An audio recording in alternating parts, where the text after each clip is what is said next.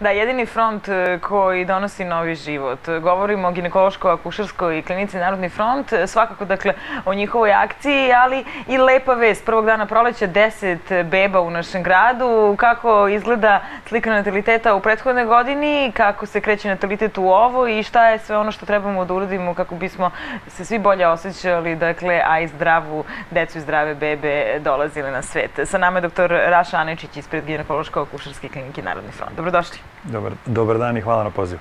E, kakva atmosfera kod vas e, u GAK-u? Dakle, bijete ovu bitku, kako da kažem, za, za obnovu prostorija, ali radi se punom parom. Kod vas nema stajanja. Nema stajanja, radi se punom parom, akciju u toku, e, da kažem, ide, ide skupljanje novca preko SMS-a.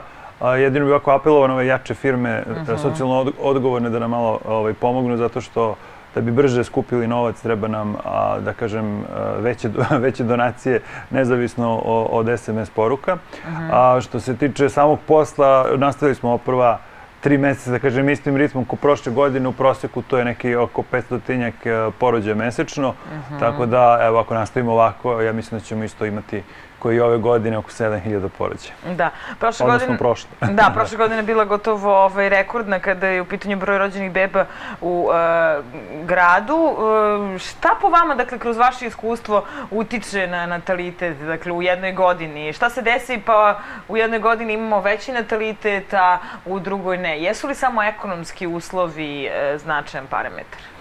Pa znate što, jako teško sad pričati o tome. Imali smo Jer, one... Da. Šta hoću kažem, znate što prekidam, kad se govori o natalitetu, uvek se na prvu, e, dakle, tu prvu tezu stavljaju ekonomski uslovi. Yes. Sad, da li je zaista to tako i da li toliko zavisi od ekonomskih uslova? Pa ja mislim da i ne zavisi toliko od ekonomskih uslova. Smo imali neke teške godine kada je natalitet stvarno pravi, ono, dizao proseke, što se kaže. U onim dobrim godinama, kad nije bilo ove svetske ekonomske krize, bio i neki pad. Tako da ne znam da li možemo baš sve da se, da se vež, svežemo za, za ovu ekonomsku krizu. Svakako da bi bilo dobro, to smo pričali prošli put, da država malo ovaj, sistemski, da kažem, reguliše, recimo da više pomaže žene koje rađaju više od troje, da kažem, plus dece, da, da se na neki način utiče, utiče da se stimulišu mladi parovi na to ali da kažem da, da je to kompleksan problem i da zahteva, da kažem, ako ozbiljnu jednu analizu. Da. E, koji je prosek e, broja dece po porodici, odnosno koliko žena u proseku rađuje dece? Pa, znate šta, maks, to je prosek je, da kažem, dvoje otprilike, ali mm -hmm. uh, u poslednje vreme, ko što možemo da vidimo, sve više on, po jedno dete. Uh -huh. Tako da a, da, a da bi nešto, da kažem, da bi bili na nuli, nama treba u, principu porodice da imaju po troje dece. -huh. Tako da ovaj, mnogo je posla da, Što je da se o tome... težak da, posao. To je težak posao, pogotovo u današnje vreme. Uh, ja mislim da, da se ne radi samo o, o, da kažemo, teškoj jednoj ekonomskoj situaciji kod nas, nego generalno smatram da, da se izgubio taj jedan da kažem, moment gde se ljudi malo i žrtvuju za neke stvari. Uh, jure se na sve strane te karijere, nažalost, tako je. Uh, ovo vreme nameće i, da. i tako da kažem vrstu i dinamiku života.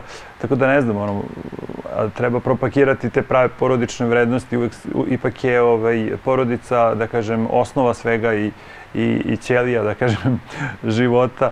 Tako da vidjet ćemo u budućnosti šta će nam doneti. Jesu li današnje žene, majke, današnje trudnice uh, uplašene? Dakle, koliko sada pričali smo i prošli put, dakle, i o internetu, o, razni, razni, o raznoraznim informacijama koje kruže, ali dakle, evo, kada govorimo o tom svakodnevnom životu i, dakle, iz meseca u mesece borite nekako da taj mesec bolje izgleda finansijski, koliko su uplašene kada dođu kod vas? Da li, dakle, to izaziva neku vrstu druge anksioznosti koja se reflektuje to novo zdravstveno pitanje?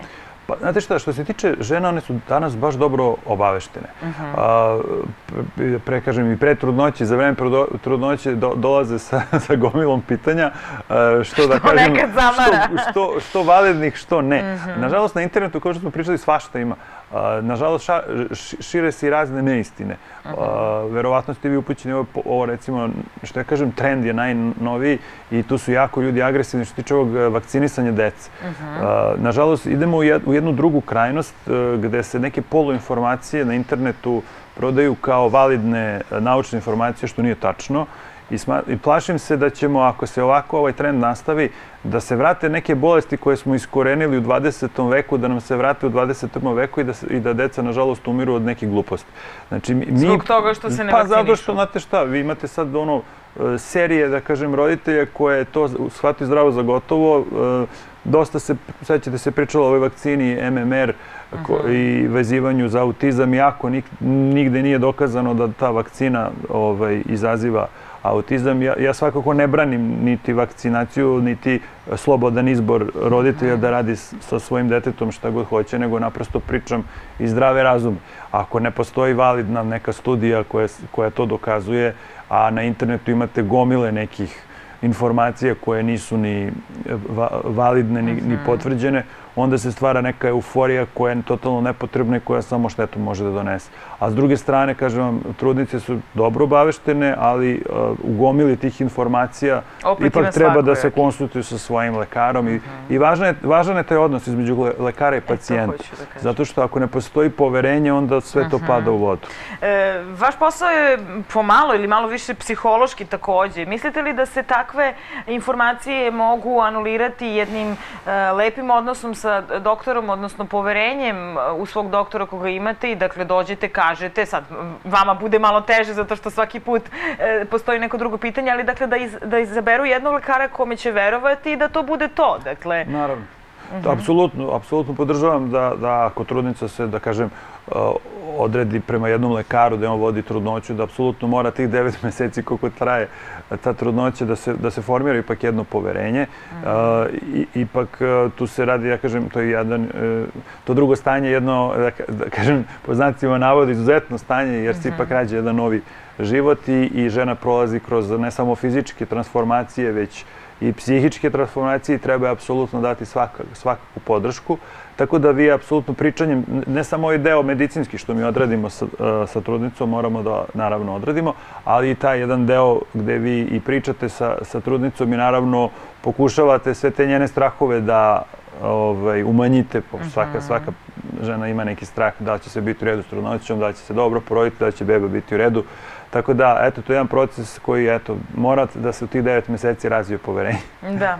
E, verujem da kao lekar niste baš pripadnik porođaja kod kuće, a toga je takođe sve više u informacijama na internetu, pa i u praksi. Mm -hmm. Šta vi kažete? Dakle, u nekim stranim zemljama postoji ovakva praksa, međutim, sistem zdravstveni, medicinski, odnosno bolnice su povezane na neki način. Jasno. Kod nas to ne, naš zdravstveni sistem ne prepoznaje porođaj u kući. Uh mhm. -huh. Tako da, uh, apsolutno, nemam ništa protiv porođaja u kući ako je to uređeno sistemski. Vi imate zemlje uh -huh. u mhm. inostranstvu, počeo od Velike Britanije, Holandije i drugih zemalja gde je moguće. Kako su oni povezani tačno? Kako pa, to izgleda šta, zapravo? Postoji, od, kod njih postoji strogo, ono, strogo da kažem, babi, odnosno medicinske sestre koje se bave samo porođajem, znači te babice koje mogu da idu po, ovaj, po kućama, uh -huh. oni, oni imaju i onoga opšteg lekara koji isto određuje neke stvari za njih, uh -huh. ali takođe to se najavi, recimo kad će biti taj porođaj u kući, onda imaju na stand-by recimo ambulantno vozilo koje bi reagovalo bukvalno bilo parkirano ispred kuće i odvezlo trudnicu u bolnicu ukoliko dođe do nekih komplikacija. Jer tru, e, sam porođaj po sebi je jako, da kažem, dramatičan čin, jako je lep, ali u, u tom uh, porođaju može svašta da pođe po zlu. Tako da, uh, ako se trudnica ipak nalazi u bolničkim uslovima, mi možemo brzo da odreagujemo i da spasemo i, i dete i, i trudnicu ako, ako je dođe do velikih komplikacija. Nažalost, ovi kuće ne možete da uradite. Uh mhm. -huh. Tako da je to mač dve oštrice. Postoji, tako kažem, neka new age generacija sad koja to sve forsira prirodno i sve uh -huh. to mhm. okej, okay, ali naravno ako je to regulisano sistemski, ako postoji za vas da kažem, razvijena mreža koja može da, da, da brzo reaguje i, i u adekvatno vreme ovaj, odreaguje da spase i dete i trudnicu. Da. E, je li se trend e, želje za carskim rezom smanjio jedno vreme, dakle pre nekih 5-6 godina su žene gotovo bile zaražene ovim virusom, da je da. lakše učiniti carski rez i na sve moguće načine se pokušavalo tako e, da se završi trudnoća? Zato što trend carskog reza raste i kod nas i u inostranstvu. Uh -huh. Kod nas je rastao jednim brojem zato što su se žene, povećao se broj žena koje recimo svoju trudnoću stvarilo van telesnom uh, metodom i onda smo jedno par godina te žene tretirali kao visoko rizične trudnice i onda smo se uglavnom završavali ti porođaji carskim rezom. Takođe, vi kad imate jednu grupu žena koje su već urađene carskim rezom, pa ostanu trudne ponovo, vi ćete svakako i njih operisati carskim rezom. slučaj, da. Tako da, tako da se onda iz, iz tog e, dela povećavao procenat žena koje, koje se završavaju carskim rezom, ali evo recimo um, naša klinika je prošle godine, ovaj, pred sam kraj godine u decembru mesecu započela saradnju sa AKH velikom, velikim kliničkim centrom u Beču. I evo, mi smo imali sreću, ja i moj kolega, da odemo ovaj, i da započnemo tu saradnju. Bili smo dve nedelje na njihovoj ginekološkoj klinici i recimo mi smo kod njih, evo, to što smo primetili, recimo da se sve žene koje imaju bebu koja je karlično okrenuta, znači ne, ne ide glavicom kad se porađaju, uopšte ne porađaju, znači vaginalno, već e, te žene odmah idu ca- na carski rez. Tako da e, to isto diže procenat carskog reza, naprosto to se radi da bi se rizik tog porođaja sveo na, da kažem, skoro na nulu, niko da. ne želi da, da porađe karlični pa da se to zaglavi, iskomplikuje i tako dalje. Tako da, e, mislim da poslednjih godina e, lekari postaju sve oprezniji upravo zbog jednog trenda koji se javio, kao i vi kao novinar to možete da pratite, u situacijama e, kada se e, dese neke teške, da kažem, komplikacije ili nešto što stvarno ne možete da, da predupredite, da sprečite, obično kreću velike, da kažem, priče, ja pratim to po, no- po novinama i to me jako onako uznemiri kad vidim da se stvara jedna, da kažem, situacija ili jedna priča da lekari maltene tu su namerno napravili neku komplikaciju, nisu odreagovali na vreme ili nisu bili zainteresovani i tako dalje. To su stvarno gluposti, barem što se tiče naše klinike. Tako da i zbog toga lekari bivaju sve i sve više oprezniji, oprezniji da, ne, da bi predupredili te neke činjenice, onda, onda se možda i, i iz tog opreza, ovaj, da bi se smanjili rizici, ipak, o- i da, kažem, da ne kažem linija manjeg otpora, ali eto, da kažem linija manjeg otpora, pa se rade ti carski rezovi. Znači, pre 30 godina to, jako su bili e, lekari restriktivni i... A zbog i- čega? Zato što nije bila to, e, tehnologija Jest, toliko između, napredovala između i ostalog, medikamenti. iz, između ostalog i tehnologija nije toliko bila napredna. Sami, da kažem, e, da ne kažem instrumenti, ali šavni, štavni pribor i sve to što se koristi u carskom rezu pre 60 godina, da kažem, što nije tako davno, e, carski rez je se čak ono završavao i smrtnim ishodom za ženu posle, posle samog carskog reza. Tako da, da to nije uopšte kao što pacijentki misle tako laka operacija, to je prava operacija, gde žena ide u pravu anesteziju, gde se otvara stomak, Sve je pravo. gde se sve stvarno to radi, tako da da ne pomisle da je carski rez, eto, eto, došao sam na carski, kao došao sam na carski rez i eto, to je, nije, to je stvarno jedna, da kažem, kompleksna i komplikovana operacija, ali koja se zahvaljujući dobrom treningu lekara i savrš, sad u savršenoj tehnologiji i, i metodama, hvala Bogu, završava uvek na 99,9% slučajeva na dobar način. Jeste li za sam kraj ovog razgovora pobornik carskog reza ili ipak idete dakle, do, do samog kraja pa onda ako baš ne može da se prirodnim putem učini Pa ne, te- znate šta, svi, svi mi radimo po tim protokolima, postoje te ap- apsolutne e, indikacije za carski rez i ako žena stvarno ima sve te indikacije koje su, koje govore u prilog carskog reza, svakako će dobiti carski rez. Niko neće da forsira da se neko porađa vaginalnim putem, a, a da to uvodi samo da, da, porodilju i, i dete u rizik. Znači, apsolutno procena ovaj, se vrši svakodnevno, mi imamo svakodnevne carske rezove, što ove, da kažem, programske u smislu koje su već isplanirani i hitne carske rezove, tako da je svakako, up, da kažem, upotreba carskog reza dosta smanjila morbiditet i morpa- mortalitet ka- kao kod trudnica, tako i kod dece. Dakle, verujte lekarima i e, e, kada kažu da i kada kažu ne. Zapravo, to Treba je biti informisan, ali ipak Da. treba profesionalcima ostaviti da radi svoj posao. Tako. Hvala puno na izdvojeno vreme. Hvala vam. Nastavljamo nakon e, još nekih vesti kada u pitanju život u našem gradu.